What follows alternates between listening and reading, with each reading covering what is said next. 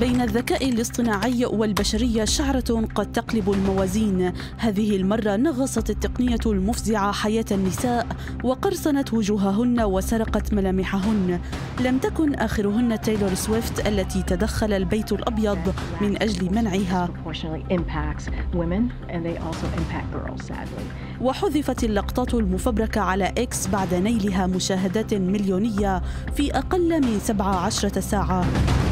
ومنها إلى نائبة أسترالية تدعى جورجي بورسيل حيث ظهرت بالنشرة الإخبارية على Nine News وكأنها هي ولكن مع فوارق بسيطة أجريت على برنامج فوتوشوب وما إن وصلت إليها عبرت عن امتعاضها تحملت الكثير بالأمس لكن قيام إحدى وسائل الإعلام بتعديل جسدي وملابسي بالفوتوشوب لم يكن موجوداً في بطاقة البنغ الخاصة بي.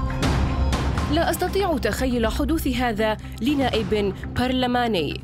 قد لا يمكن لأي شخص أن يفرق بين المزيف والحقيقة ما إن كان يعرف نفسه جيدا فالاختلافات صعبة بالفعل حتى بورسيل نفسها.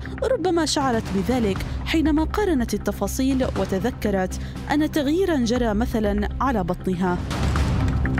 اعتذرت القناة ولامت فوتوشوب قائلة إن الأتمتة وإعداداتها غيرتها لتناسب مواصفاتنا لكن عملاق البرمجية الإبداعية أدوبي رد فورا بأن تلك الميزات تتطلب تدخلا بشريا وموافقة. تتلاعب التكنولوجيا بالصور في عصر التزييف العميق حتى بتلك المآسي التي يكابدها أطفال غزة.